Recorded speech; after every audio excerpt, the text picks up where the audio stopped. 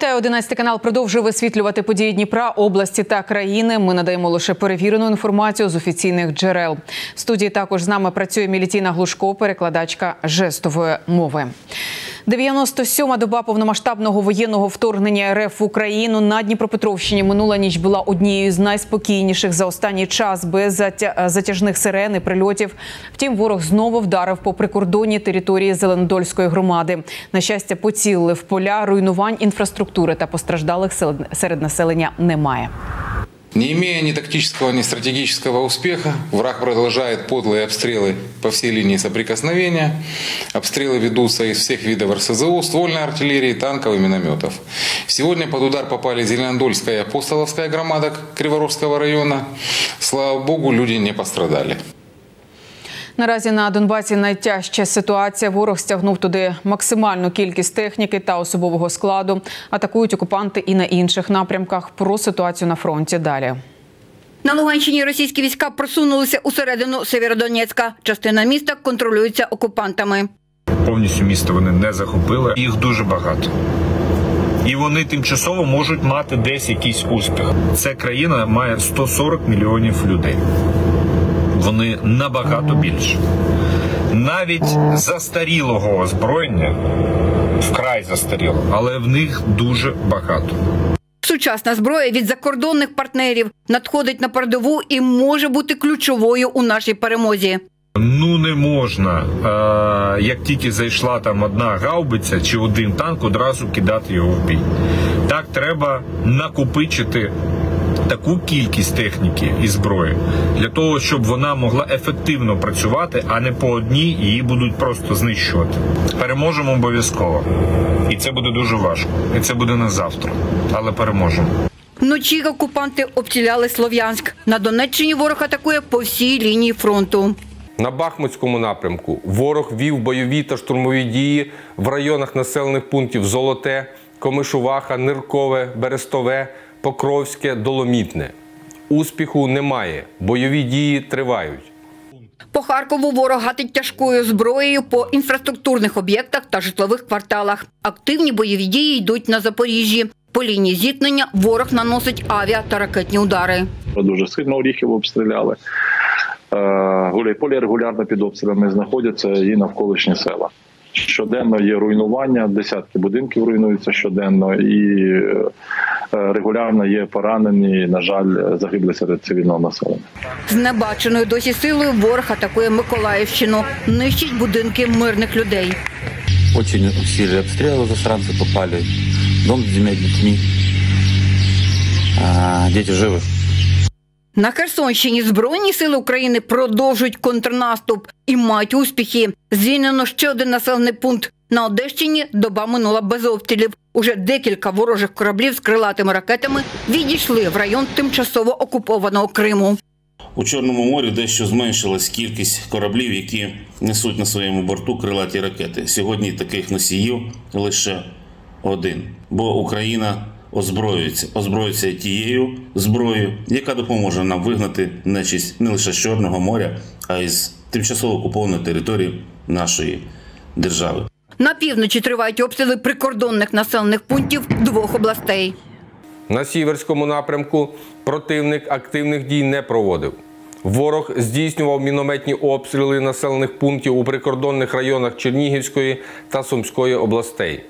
Фаїна Мандалюк, Олексій Шевченко. Новини 11 каналу. З 1 червня припиняється дія кредитних канікул для позичальників, тобто фізичних осіб. Це означає, що повертається обов'язковий щомісячний платіж за користування кредитними коштами для клієнтів. Банки нагадують про вчасне виконання зобов'язань за договорами. Кредитна ставка зменшена, вона залишається зменшеною удвічі. Це 1,7%. Відсотка, якщо ви, е, якщо у вас не не буде прострочки, якщо ви е, вчасно е, сплачуєте той необхідний мінімальний платіж, який є 5% від цієї суми кредиту, який який ви використали на карті, таких відсотків за користування банківським кредитом ну, не було, мабуть, за всю історію ще існування. Шалені ціни й багатокілометрові черги. Дефіцит палива змушує водіїв пересісти на велосипед, електросамокат чи громадський транспорт. Наш Владислав Авдієнко перевірив переваги і недоліки кожного з цих варіантів. Лівий берег з самого ранку на цю міні-АЗС із трьома колонками шикується довжелезна черга. Рухається не швидко. Где-то час стою. Полтора часа. Дехто з водіїв економить залишки палива і штовхає авто. Але всі радіють, що вдалося знайти АЗС із паливом. Це очень тяжело, звісно, критично, тому що бігаєш, іщеш по талонам, по всьому, по всьому городу. Вартість на цій заправці 58-60 гривень за літр палива. По кишені далеко не всім. Я мало їздю, мало їздю, случай від случая, то виїхати куди-то. На пенсію сильно не роз'їздися. Втомилися чекати, годинами смажитися в розпечених на сонці автівках. А як вам така ідея? Змінити залізного коня на алюмінієвого? Жодної паливної залежності, краєвиди на усі 360 та здоров'я. Владислав велоактивіст каже про себе, народився на велосипеді. Десять років тому вирішив, пересуватиметься містом тільки двоколісним. Я приїхав із Польщі. Мене там заразив один мій е, польський приятель. Я приїхав у Дніпро і вирішив, що е, я хочу, щоб у Дніпрі було як в Польщі.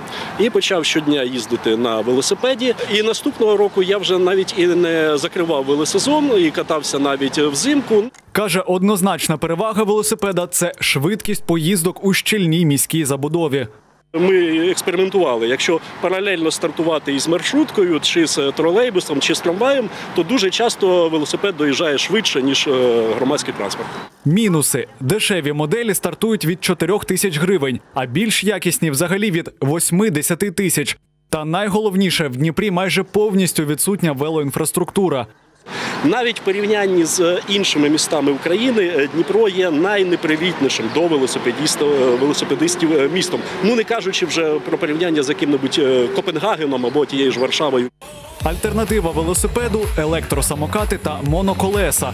Ось таким вже два роки володіє мій колега з Києва Артем. Плюси ті ж, що і у велосипеда: швидкість та мінімум витрат.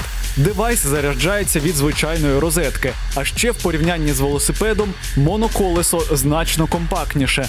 Це дозволяє без перешкод брати його у громадський транспорт. Це транспорт останньої милі. Тобто, якщо ви користуєтесь громадським транспортом, то моноколесо тут потрібно для того, щоб від дому доїхати до зупинки громадського транспорту і відповідно проїхати там в тролейбусі, трамваї чи метро, і потім вже з зупинки е, доїхати до місця роботи. Що ж до мінусів, в рази більша вартість в порівнянні з велосипедом від 6 тисяч гривень за найдешевше, в середньому ж 20 тисяч гривень. А ще складність керування. Дуже боліла нога, яка постійно е, дотикається до певної там частини цього моноколеса. Я дивився на Ютубі, як можна навчитись, і особисто можу сказати, що нічого більш складнішого в моєму житті не було. В плані там, якщо взяти лижі, ролики чи велосипед, той самий. Звісно ж, можна нічого не вигадувати й діставатися роботи маршруткою чи електротранспортом. Втім, з паливним дефіцитом пасажирів там побільшало, а інтервали руху навіть збільшилися, відзначають пасажири. Увеличился, конечно, увеличился. Минут. Раньше было так, э, номинально 10 минут, сейчас э, 20 минут. Реже стали ходить. Я вот ездил на дачу, то раз в полчаса ездили, сейчас раз в час. Тішить, що при такому зростанні цін на паливо вартість проїзду не піднімали 8 гривень в тролейбусі та 10 в маршрутках. Втім, якщо ваша робота недалеко від дому, ви можете встати трохи раніше та подолати шлях пішки. Тим паче, що Всесвітня організація охорони здоров'я радить проходити щонайменше 7,5 тисяч кроків на день, а це близько 5 кілометрів. Владислав Авдієнко, Денис Єлисавенко, Олександр Литвин та Станіслав Сторожук. Новини 11 каналу. У Дніпрі лікують трирічного хлопчика з села Студени Харківської області. У нього поранення ноги, обличчя, грудної клітини і кінцівок. Родина Дениса евакуювалася з під бомбардувань російської артилерії. На жаль, виїхати змогли не всі. Батько Дениса загинув. Мама привезла чотирьох дітей до Дніпра. Всі подробиці цієї історії далі. Уламки кісток з ноги маленького Дениса видалили. Операція пройшла вдало. Медики продовжують лікувати травму обличчя та грудної клітини. Зараз хлопчик почувається добре. Я не боюся. Я не боюся. Не боюся. Що відбувалося у селі Студене Ізюмського району 25 травня, Поліна пам'ятає до дрібниць. На огород к нам прилетело три мины.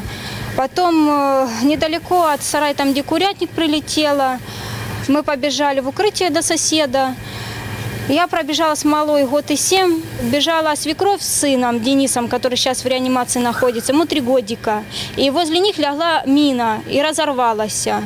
Я только увидела дым черный и крики. Далі Поліна розповідає, як загинув її чоловік. Он даже до двора не добежал, чтобы в колонке взять воды.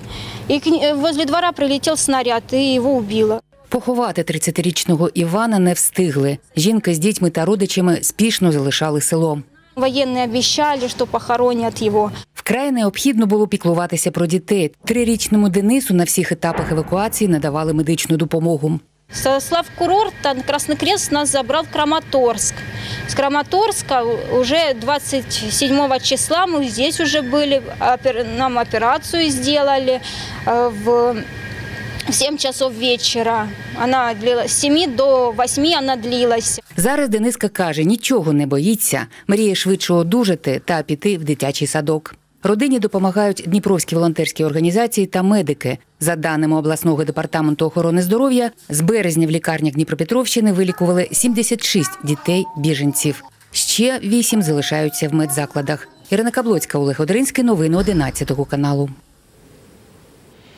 З 1 червня проїзд у метро Дніпра знову буде платним. Ціна не змінилася, становить 8 гривень. І з початку війни проїзд був безкоштовним, та через брак коштів почалися труднощі із закупівлею запчастин та комплектуючих, кажуть на підприємстві.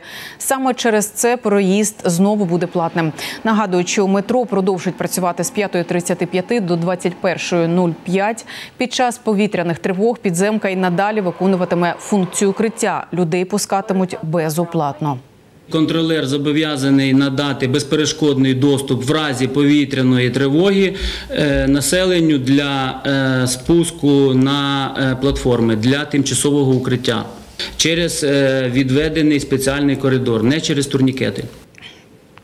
Півтори сотні порцій тушонки та майже 500 гарячих обідів щодня готують волонтери на житловому масиві Грень. Страви передають на позиції військовим. До благодійної діяльності долучилися ще на початку війни. Наразі допомагають ще переселенцям. Як підтримують людей та що зазвичай готують. Дивіться далі. Етикетки розроблені нашими е, місцевими дівчатами-дизайнерами. Ми хотіли, щоб е, е, саме ця тушонка була ідентифікована. А вже з дизайном кришечки нам допомогло підприємство Дніпровське. Кожна кришечка неповторна. Тут такі є і герби, і гасла такі, знаєте, патріотичні. Тушонку за оригінальним рецептом в банках з унікальним дизайном виготовляють майстрині житломасиву і грень. Свинину з трьома видами каші на вибір та бланшированими овочами закривають у скляній тарі. Продукт роблять з натуральних інгредієнтів українського виробництва без домішок та барників. При цьому максимально збалансованим та ситним. Перловка, гречка та горох це дуже поживний корисний продукт. Тобто, це може вживатися як в чистому виді, як друга страва, і також з цього можна робити супи. З початку війни на позиції військових вже відправили 1600 банок тушонки. Щодня на цій кухні готують для захисників і повноцінні гарячі страви на обід та вечерю. Це близько 500 порцій. В меню завжди різноманітні перші та другі страви в залежності від набору продуктів. Готуємо, щоб люди, ну щоб наші бійці почували себе трошечки як вдома. Ну щоб їжа була смачна, але ну це, я вважаю, що це, це дуже важливо, щоб їжа була не тільки смачна, а й корисна. А віднедавна тут почали готувати ще й сухі супи. Для військових відправили вже 70 таких порцій. За основу кухарі взяли відому технологію виробництва з простими продуктами. Йде стандартний набір: це цибуля, морква, картопля. Картоплю треба спочатку трошки відварити, а, вже потім сушити. Є гриби, сушимо шампіньйони, якщо, є. Зелень теж обов'язково ми сушимо. Пакети. Туди вже, вже сіль, спеції і е, м'ясо. Сам волонтерський штаб працює з другого дня війни. Організували його активні мешканці житломасиву Ігрень. У команді близько 25 людей, які щодня активно працюють на нашу перемогу. Допомагають волонтери не тільки військовим, а й вимушеним переселенцям. Підтримують також малозабезпечені родини та пенсіонерів. Для людей збирають продуктові набори. Це мука, горох, декілька різновидів круп. Це ну, коли була олія, ми е, давали олію. Це безпосередньо хліб, е, це консерва. Ну, тобто людина приходить і отримує е, тут ну, такий собі набор, яким повноцінно може харчуватися родина. За три місяці війни таких наборів роздали вже декілька тисяч. Провізію до волонтерського штабу зазвичай приносять небайдужі містяни. Допомагають також і інші волонтери-підприємці та навіть депутати. Та, попри таку підтримку, потреби в продуктах є завжди. Якщо і ви бажаєте долучитися до благодійності, звертайтеся за номерами телефонів на вашому екрані. А підтримати фінансово можна через благодійний фонд за реквізитами. Софія Куценко, Олег Одринський. Новини 11 каналу.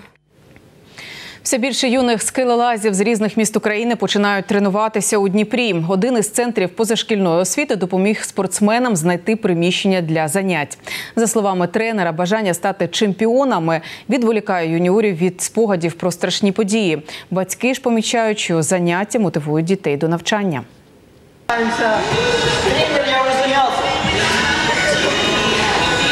Ось так стрімко та впевнено до майбутніх перемог готуються скелелази.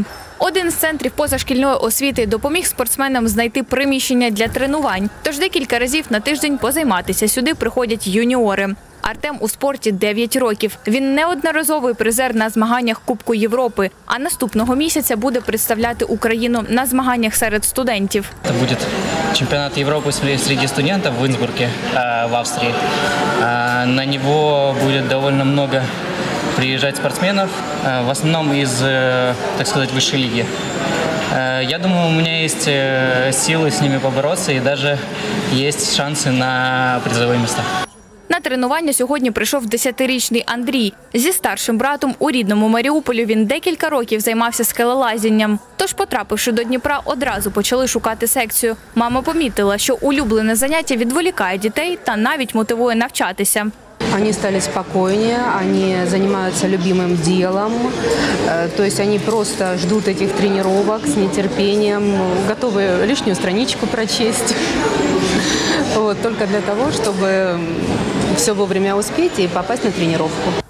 З початком бойових дій все більше юних спортсменів з різних міст України починають тренуватися у Дніпрі. За словами тренера, дітям потрібна фізична активність, і саме такий вид спорту розвиває швидкість та точність. Зараз у Ігоря 67 підопічних. В них є цілі, вони орієнтуються на європейських спортсменів. Вони розуміють, що це все колись закінчиться, і вони будуть приймати участь у міжнародних змаганнях, поступати, звісно, за Україну, звісно, тримати прапор нашої держави. Усі позашкільні гуртки від початку війни працюють у звичайному режимі. Обласний центр позашкільної освіти провів вже три десятки заходів для 50 тисяч дітей. Ми зрозуміли, що дітям потрібно відволікатися, і ми повинні дітям розвантажувати їх психічний стан. Саме в нашому центрі ще напрямки художньо-естетичного е, спрямування, туристсько-краєзнавчого, гуманітарного напряму, науково-технічного, тобто всі напрями позашкільної освіти. Аби приєднатися до будь-якого гуртка, треба звернутися до одного з п'яти центрів позашкільної освіти. Детальну інформацію можна знайти на офіційній сторінці центру Фейсбук. Усі секції абсолютно безкоштовні. Поліна Поломарчук, Сергій Гончар. Новини 11 каналу. Агнеска Шпаркова, 90-річна бабуся з Чехії, перетворює своє село на художню галерею. Її називають першим стріт-артером. Дивовижні малюнки жінка створює власноруч. І наостанок про погоду. У середу 1 червня у Дніпрі очікується спека. В день прогнозують хмарність, можливі грози. Температура сягатиме 29 градусів тепла вночі, плюс 17. За даними ДНУ імені Олеся Гончара, радіаційний фон у місті в межах норми. І на цьому вся інформація. Наша команда продовжує слідкувати за подіями та розповідати вам останню інформацію. Ми також присутні в Телеграм та Фейсбук. Тож слідкуйте за новинами. Сили нам віри і обов'язково перемоги.